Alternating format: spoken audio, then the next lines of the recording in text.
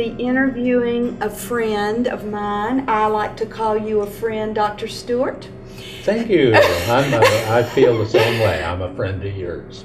He is a sociology professor at ASU, and we have been on some committees uh, in our city together, and that's where we, I don't even remember the first time I got to know you, but I feel like I've gotten to know you better in the last six months or so when you let me know that you are very invested in helping us make our census successful for our area. And what has been a pleasure for me, Dr. Stewart, is uh, at my age, I've been through a few census of our country, and it is such a pleasure. I have perspective, therefore, Uh-huh. about, and I'm pr- so appreciative of working with you and folks like Bob Aguilar who have a great, uh, passionate outlook. Uh, I think you're what I sense in you. Uh, now, I'm not analyzing you, but what I sense is you care about people. This isn't just about numbers for you. And some people have asked me, why do I care about the census? And that is a, there's no one simple answer. It's a long answer with multiple parts for me. First off, it means more money for this school. Means more money for your school and all of the schools of the country and, uh, and the community and the county, whatever level you want to consider that So at. let's talk, let's just start there. I, I know my part, but you jump in here. What Mhm. difference does it make money? Don't we get the same amount per pupil no matter what this every 10 year census? And my understanding is that uh, we this 10 year count will help us know how many children of poverty um, and how many children are being raised in homes with uh, not as much education. Mhm. That is helpful to know that. And so then the federal government, a lot of the census impacts my federal funding.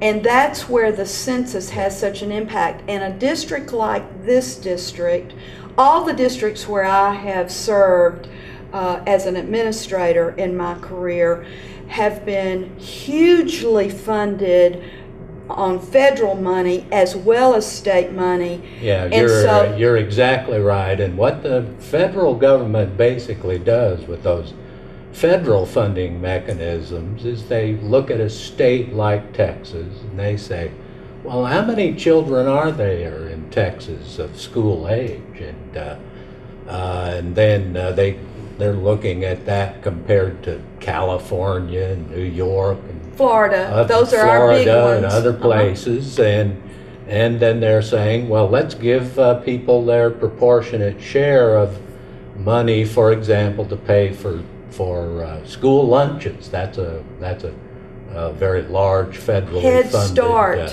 for Head Start. Uh, that's Summer another. feeding program, which is Uh, still the yeah, lunches. exactly. But our school, San Angelo ISD, we have about uh, over a hundred million dollar budget. And certainly the bulk of it, the majority, comes from the state.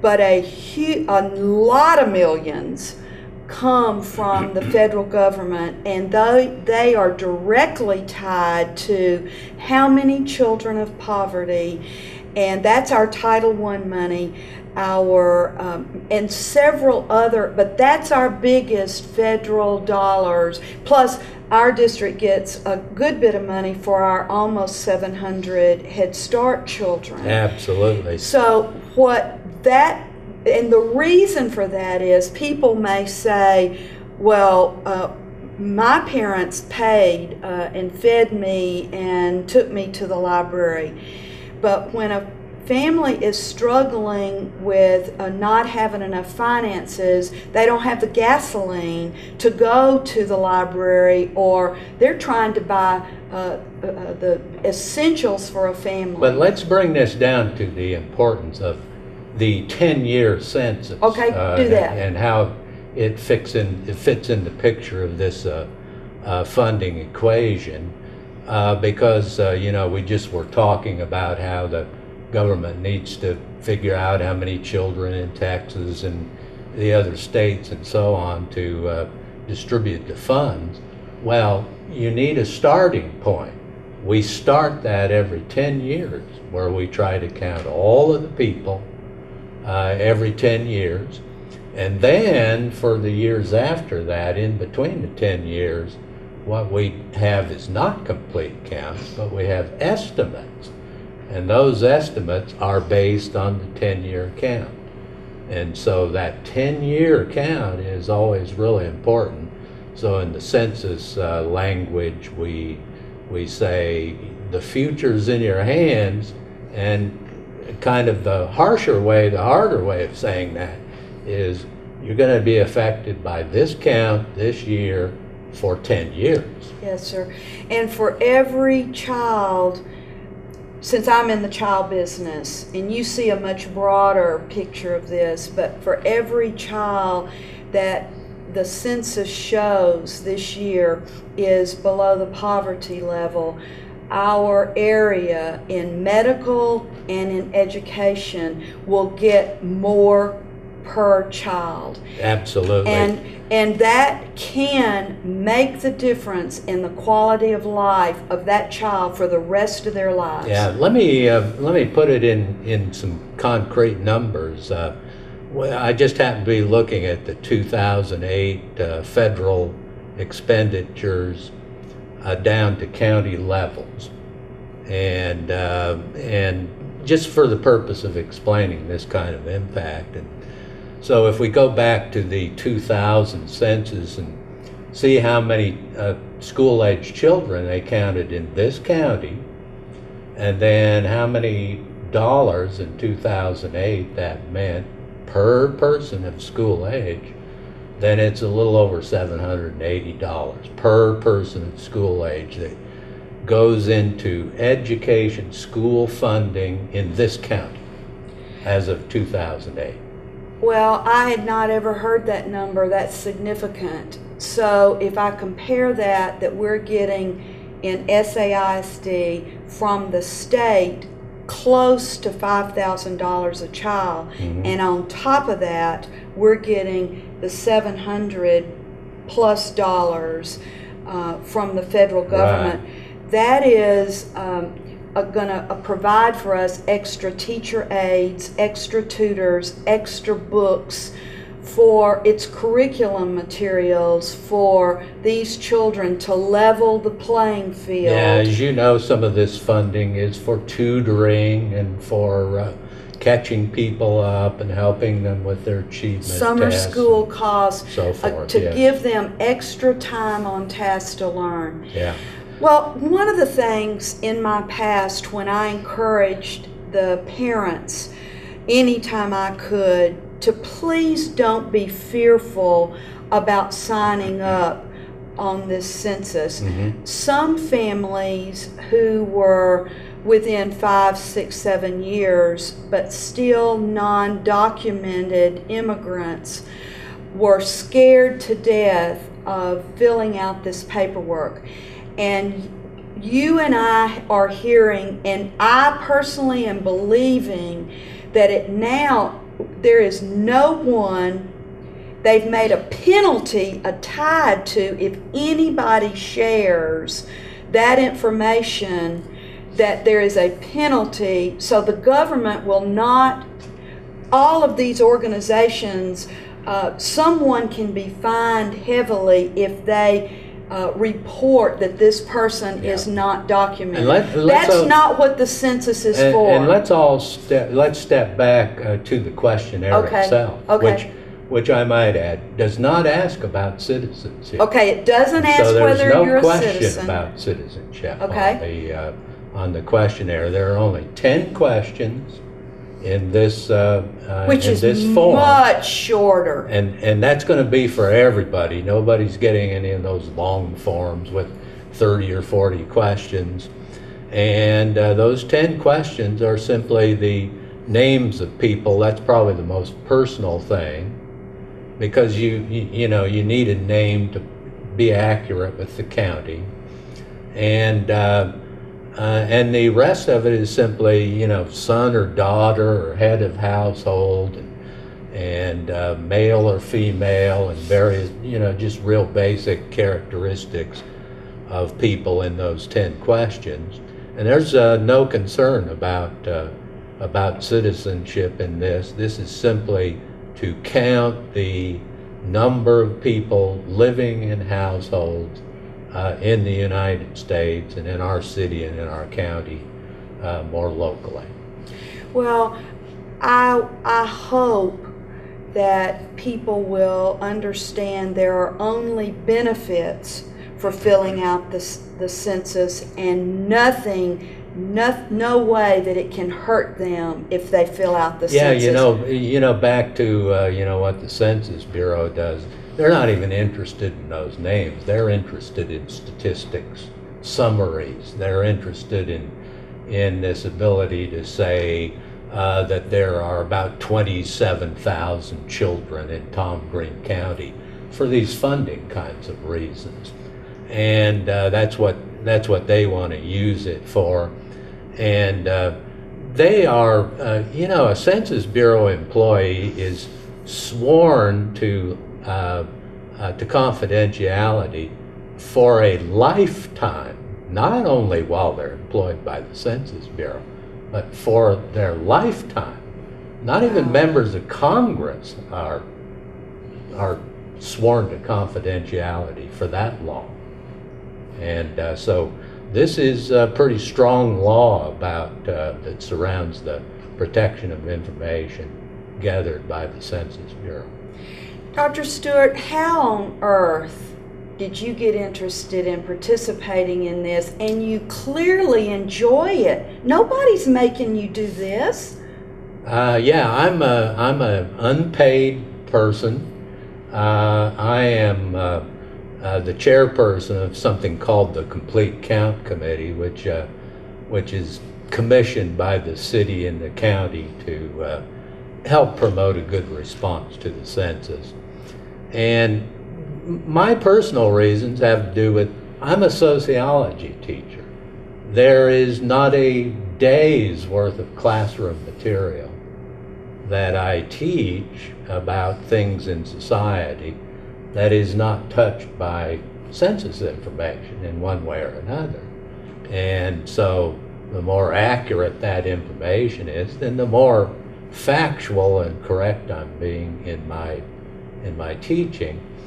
Now, I, I also we were chatting, you know, a little bit before we came on here about about you know how teachers are proud of those students that they produce, and it does turn out that one of my former students is is uh, now uh, working at the Census Bureau in Dallas, uh, which has responsibility for the states of Mississippi and Louisiana and Texas in the census. And uh, this uh, former student, an ASU graduate, is uh, now uh, the head of the partnership uh, program for, uh, for this region. And that's one of the reasons that I'm involved in this. And then thirdly, I know how important it is for the for the welfare of our community and our schools and our hospitals and roads and so on. And uh, I care about the kind of place we live in. I think many of your viewers, all of your viewers, care about that as well. Well, I very much agree with you that our some of our proudest uh, thoughts are about former students, and I know you must be proud. Uh, she probably who is this young person? Her name is Maricela Rosales. And and, And, you uh, taught her uh, while from, at ASU, and evidently inspired her to be interested in sociology. Yes, she was a sociology major, and She has uh, worked for the Census Bureau for a number of years now. She's originally from Eden, just to the Wow. east of here. Grew up over there and then came over here to ASU and then uh, out into the bigger world. So when she called upon you, you had no other option but to say yes.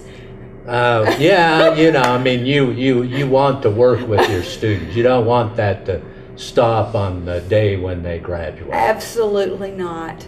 Well, you have inspired me. You've taught me a lot about um, what to say to folks if they are scared about filling out this census, about how there is. Um, and we know, Dr. Stewart, that there are many people in our world that don't trust the government. Yeah. And if we had one message, I think it would be in this instance, if you're ever going to trust, now is the time that it will not hurt you. It can only help improve the quality of life of people in our area. Let me also say something about, you know, you can become more comfortable if you know what's going on around you. And so it's important to know a little bit about the about the census process because that helps you protect yourself from potential scam people and other kinds of things. And so as we were saying earlier, you know, the census has only these 10 questions. I gave you the most personal one is your name, so there's no social security numbers, nothing uh, personally identifying past your name. And, uh, and in addition to that, this comes to the mailbox for most people in the middle of March in a questionnaire form in their mail. The best way to keep the census taker from knocking on your door, which, you know, worries a lot of people when someone knocks on your door. Is this really a census worker? The best uh, way to avoid that and not have a census taker on your door uh, is to simply fill that form out and put it back in the mail. If you don't put it back in the mail, then of course, because our our government depends on this count of the people uh, for reasons we've talked about, they have to try to find out for those people who don't respond to the questionnaire by uh, uh, by turning it back in. That also gets expensive for taxpayers, I might add. for someone to go door to door, which uh, the census, you all are going to be using uh, one of our schools to screen the large number of people, 1,500 or so, that will it will take to go door to door for the people who do not mail back their. Uh, so it's very time and costly. Time uh, takes a lot of. Uh, several weeks, and then it costs the taxpayer, as you've just said, to have to send somebody door to door. And in West Texas, that often means you know traveling a hundred miles in some of the some of the uh, territory that we have, and that of course even makes it more expensive. What uh, if you, when you finish and all of these come in and you all have gone door to door, then what is your role after that, Dr. Stewart? Well, my role after that is to uh, simply, uh, uh, you know, joyously use the uh, uh, the accurate information from the census in my in my teaching. To enjoy the fact that uh, that our community has an accurate count and therefore a fair share of uh, these funds, and just uh, to um, uh, to enjoy the fact that people stand up and be counted. It's an important uh, thing to to uh, you know stand up and be counted when it's time to do that. I think you told me that uh, 10 years ago, the Tom Green County, the percentage of people that were that responded, Yeah. am I remembering it was in the 50% or 60%? No, that's not Tom Green County. We're Okay. we're better than that. Uh, we do have some pockets in the, uh, in the city that go down into the fifty Okay. percent range. Uh, These are called census tracts. Uh, And so there are a few pockets in the city that are, That it's Uh, that are harder that to get low. the count?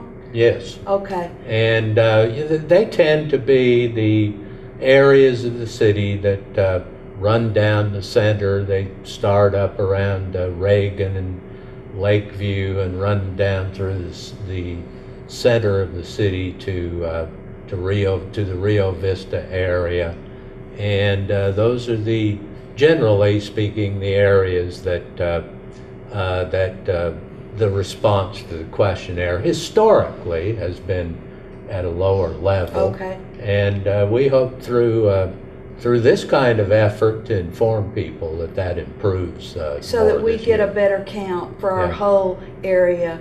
Yeah. Well, I've enjoyed working a, even just a little bit with you, Dr. Stewart, and I am so grateful that you are here trying to help us get this count. Well, thank you for having me. I really It's do my appreciate pleasure, it. Dr. Stewart, to be your friend. And I'll be happy to come back and give you an update at some point in We March will. if you would like We'll that. do that. Okay. We'll, we'll look forward to that. That would be good. Thank you. Thank you. Okay.